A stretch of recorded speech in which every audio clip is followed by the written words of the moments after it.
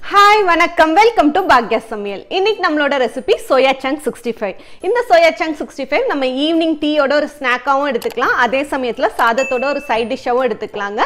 So வாங்க இப்போ இந்த சிம்பிளான சோயா சங்க் சிக்ஸ்டி ஃபைவ் எப்படி செய்யலான்னு பார்க்கலாம்.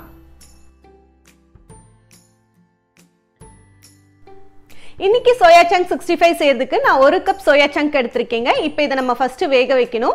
அதுக்கு ஏற்கனவே நான் ஸ்டவ்ல தண்ணி வச்சு கொதிக்க வச்சுட்டு இருக்கேன் அது இப்போ கொதிச்சிருச்சு. இப்போ அந்த கொதிக்கிற தண்ணியில நம்ம இந்த சோயா சங்க்ஸை சேர்த்திடலாம். சோயா சங்க்ஸ் நல்லா கொதிக்கிற தண்ணியில சேர்த்துனதுக்கு அப்புறம் இதை ஒரு வாட்டி நல்லா மிக்ஸ் பண்ணி விட்டுருங்க. சோயா சங்க்ஸ் எல்லாத்தையும் ஒரு வாட்டி நல்லா மிக்ஸ் பண்ணதுக்கப்புறம் இந்த சோயா சங்க்ஸ் ஒரு மூணுலேருந்து நாலு நிமிஷம் வரைக்கும் வேகணுங்க. இப்போ அது வரைக்கும் நம்ம வெயிட் பண்ணலாம். இப்போ ஒரு நாலு நிமிஷத்துக்கு அப்புறம் சோயா சங்க்ஸ் எல்லாம் நல்லா வெந்துருச்சுங்க. இப்போ நம்ம ஸ்டவ் ஆஃப் பண்ணிட்டு இதை ஃபில்டர் பண்ணிக்கலாம். ஃபில்டர் பண்ண சோயா சங்க்ஸை திரும்பவும் இப்போ பேனில் சேர்த்திக்கலாங்க. சேர்த்திட்டு இதை நாலஞ்சு வாட்டி நல்லா சில்லுன்னு தண்ணி ஊற்றி வாஷ் பண்ண போகிறோம் ஃபர்ஸ்ட் டைம் நம்ம வாஷ் பண்ணி சோயா சங்க்ஸை பிழிஞ்சு எடுக்கும் போது தண்ணி கலர் பார்த்திங்கன்னா நல்லா ப்ரௌனாக இருக்குங்க. இதே மாதிரி நம்ம ரெண்டு மூணு வாட்டி வாஷ் பண்ணி பிழிஞ்சு எடுக்கும் போது தண்ணி கலர் வந்து நல்லா கிளியர் ஆயிரும். சோயா சங்க்ஸில் இருக்கக்கூடிய அந்த ஸ்மெல் போய் நம்ம சோயா சங்க்ஸ் செய்யும் போது நல்லா டேஸ்ட்டாக இருக்குங்க.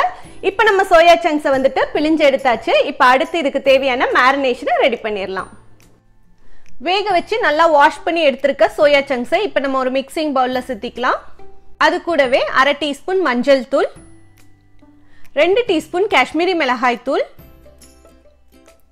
அரை டீஸ்பூன் கரம் மசாலா ஒரு டீஸ்பூன் உப்பு ஒரு டேபிள் ஸ்பூன் அரிசி மாவு ஒரு டேபிள் ஸ்பூன் மைதா மாவு ஒரு டேபிள் ஸ்பூன் கார்ன்ஃப்ளவர் மாவு அரை டீஸ்பூன் இஞ்சி பூண்டு பேஸ்ட் ஒரு டேபிள் ஸ்பூன் நல்ல கெட்டியான புளிக்காத தயிர். இப்போ நம்ம சேர்த்திருக்க மசாலாலாம் இந்த சோயா சங்க்ஸோட நல்லா ஒட்டி பிடிக்கிற மாதிரி கைகளால் நல்லா மிக்ஸ் பண்ணிக்கோங்க. இது எல்லாத்தையும் நல்லா மிக்ஸ் பண்ணதுக்கப்புறம் இந்த சோயா சங்க்ஸ் கூட இந்த உப்பு காரமெல்லாம் நல்லா பிடிக்கிறதுக்காக இது ஒரு அரை மணி நேரம் நான் இப்போ மேரினேட் பண்ண போகிறேங்க ஸோ இது ஒரு அரை மணி நேரம் மூடி போட்டு வச்சுருக்கலாம். அதுக்கப்புறமா நம்ம எடுத்து ஃப்ரை பண்ண ஆரம்பிச்சிடலாம்.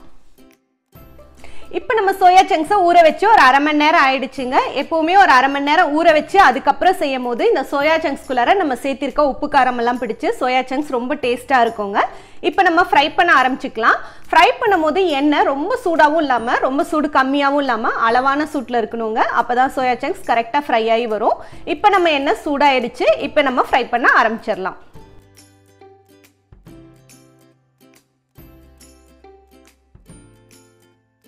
சோயா சங்க்ஸ் எல்லாத்தையும் எண்ணெயில் சேர்த்துனதுக்கப்புறம் ஒரு கரண்டி வச்சு அது எல்லாத்தையும் திருப்பி விட்டுட்டே இருங்க. அப்போ தான் வந்து சோயா சங்க்ஸ் ஈவனாக ஃப்ரை ஆகும். சோயா சங்க்ஸை ரொம்ப நேரம் ஃப்ரை பண்ணோன்னா ரொம்ப ஹார்ட் ஆகிடுங்க இப்போ பார்த்தீங்கன்னா நம்ம சோயா சங்க்ஸ்லேருந்து அந்த பபுள்ஸ் எல்லாம் நல்லா குறைய ஆரம்பிச்சிருச்சு. இப்போ நம்ம சோயா சங்க்ஸை எண்ணெயிலேருந்து எடுத்துடலாம்.